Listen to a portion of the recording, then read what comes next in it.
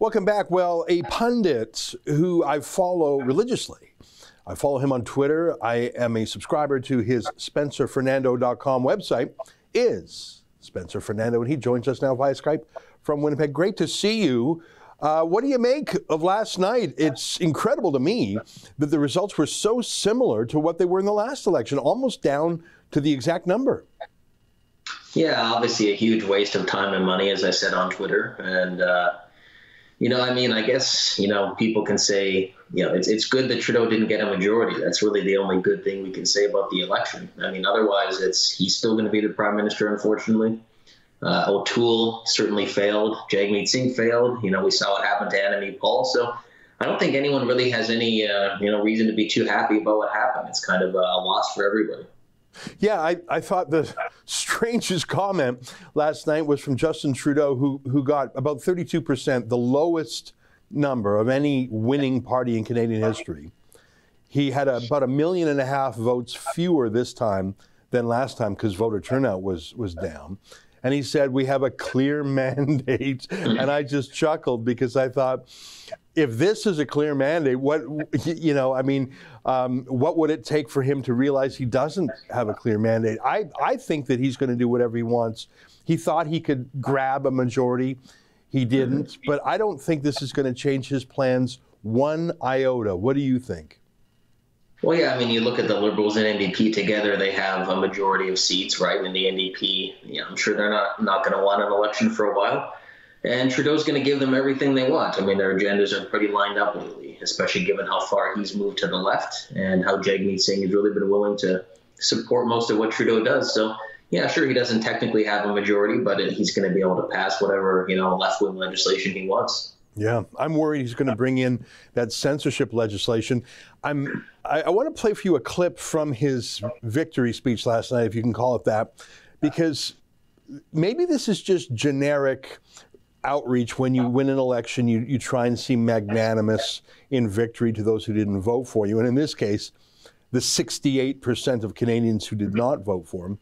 Uh, I wonder if there's anything more in it because, of course, Trudeau has been demonizing people who are not vaccinated. He implies that they're unclean and have to be punished. Take a listen to this clip from Trudeau. And Spencer, my question for you is Is this just generic, hey, I'm the prime minister for everyone, you know, uh, is that just a generic statement, like a Hallmark greeting card? Don't read too much into it. Or does this imply that maybe he's going to uh, be a little bit less antagonistic to those who don't want the vax? Take a listen. And if you did not vote for us, I want you to know that we will stand up for you and work for you every single day.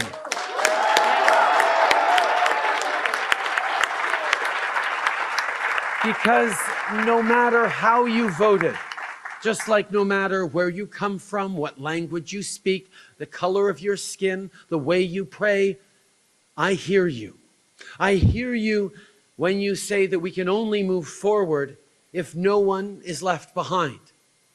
Our shared future is built vote by vote, door by door, and above all, person by person. Spencer, so he's talking about not leaving anyone behind, not discriminating based on the way you pray, etc. I notice he didn't, I mean, he listed some of the things that are protected in our Charter of Rights uh, religion, race, gender, etc. I notice he did not talk about medical status, about vaccination status. So he's trying to be the healer, come together, leave no one else behind.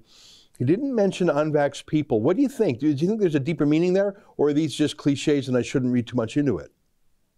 Yeah, I mean, I think it's all really bullshit from him at this point. Uh, we saw the kind of campaign he ran. I mean, look, one, the second he started to think he was losing in the election, he ran the most us versus them, demonizing, using a lot of rhetoric we've actually seen that's quite dangerous throughout history. You know, to pit you know part of the population against another. So of course, when he wins, it's easy to play the nice guy when you're the winner, right? Everyone's happy. Oh, I already won. I'm still in power, so I'll be nice today. But it, it no, it doesn't mean anything to me. He's he showed, you know, who he really was, and that's a divisive person who will pit Canadians against each other for his own political gain. And I don't think we should, you know, expect anything uh, other than that from him. Yeah. You know, I, I just recently rewatched the film American Psycho, and the the crazy talk of the star of that movie um, sociopathic, uh, say anything um, to get through the moment really reminded me of Justin Trudeau. And I'm not implying that he's a psychopath. I don't think he is, but I think he is someone who is a manipulator and who will literally say anything in the moment for temporary advantage. And I think last night he wanted to look prime ministerial, but I think he's going to be as brutal as ever. And, and I think he's going to proceed on his vaccine passports. I think he's going to proceed on the censorship. Let me switch gears, though, Spencer. I want to ask you about the conservative leader, Erin O'Toole. There was a moment there in the campaign where he looked like he might actually pick up seats. There was a moment where pretty much all the polling suggested he would win uh, a minority, at, at, uh, and there was a, a, little bit of hope there. Um, I'm not sure why it didn't happen. I have my own theories, but here's what Erin O'Toole said in his, I'm not going to call it a victory speech, his I don't know if you call it a concession speech, uh, but here's what he said, and and I, I show you this language because this is the language he used when he uh, dedicated the party to a carbon tax over the wishes of the party membership that, who had just voted against it. You might recall there was a policy convention a few months ago. Uh, O'Toole wanted to have his uh, liberal light carbon levy in there.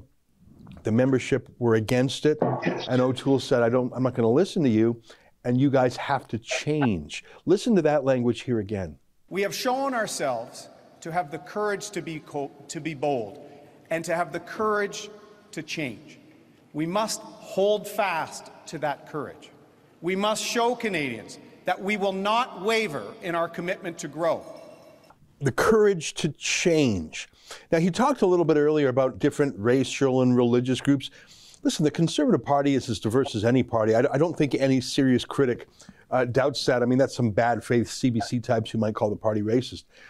So I, I, know he's not talking about having more diversity in the party. It's very diverse. I think when he says the courage to change and um, to keep growing I think he means to keep changing the party policy so it's not quite as conservative. I think that's what that means. I notice he didn't throw a bone to PPC voters, many of whom had, you know, are refugees from the Conservative Party. That's my take. What do you make of that comment by O'Toole? Yeah, well, I mean, it's a good point you make about how diverse the party was. I mean, they had a very diverse caucus under Harper, right? So the idea that diversity is a problem for them doesn't really make sense. And you know, the, the thing with O'Toole is he he completely buys into the liberal worldview and then wants to make a few tweaks. And I think that's that's the big problem he has, right? So he's constantly apologizing for the Conservative Party. He's constantly saying it needs to uh, change.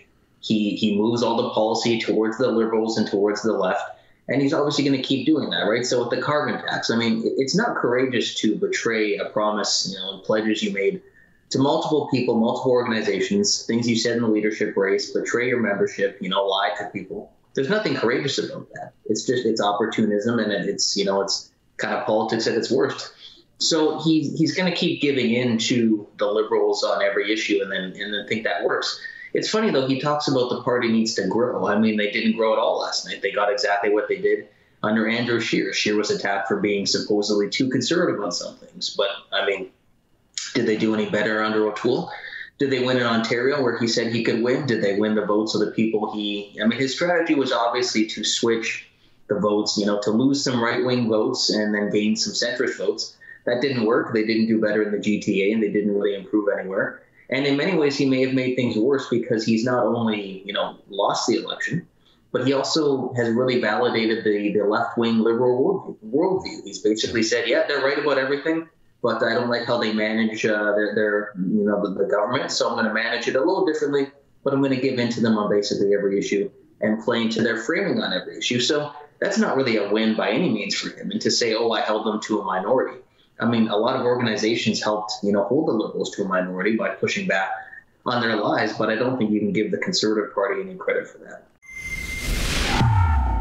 That's an excerpt from my daily show, The Ezra Levant Show. Every day I do a monologue on the news of the day, then I interview an interesting guest, and then I read my hate mail. You gotta subscribe.